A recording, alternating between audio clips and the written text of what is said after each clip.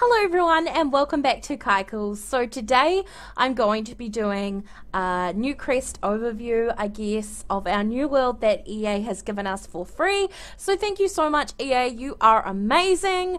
Without further ado, let's just get on into the overview. I'm so excited. We have four worlds now to play with. It is so beautiful. So this is the first thing that you will see when you come to the new world. We have five little lots over here. This lot looks really amazing, you know, right by the water. I reckon it will be so beautiful. And then we have five over here and then five over here. These ones are a little smaller. These ones are a bit bigger. So I guess these would be bigger lots to build bigger houses, which would be so amazing. And then we have smaller lots and then the really, really tiny ones over here. And then we have just over here, oh my goodness, this looks amazing. I think that this would be so amazing for Bella and Hank's new house because there's like this little tiny little ship that you can play with with your children. It's so cool. And then you can like sit and watch your children play. And we have this little cute little lamp here and the water looks amazing with the trees, just everything.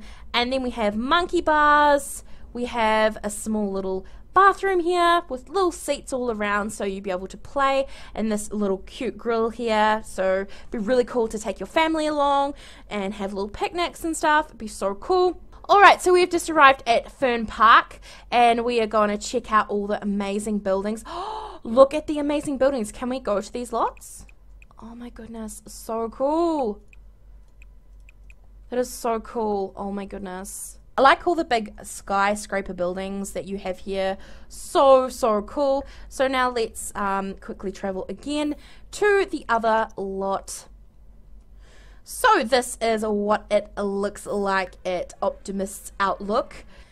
So yeah, this would be quite a busier street to live on, I'm guessing. So really nice if you wanted to build like a retail store maybe, really nice. And you have all these cute little like seating areas around here with the little grill so you can come across here and you can like grill anything. You can bring your family here and go for picnics and things. And you can just pretty much explore the awesome as area. I, I personally love this area. I personally love this one just because it's right by the water.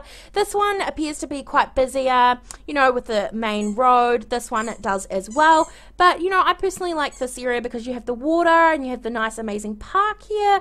If you have The Sims 4, you will be able to update your game and get this new world of Newcrest. It is so beautiful. I love it. Thank you so much for being here with me today, and I will see you all next time. Bye!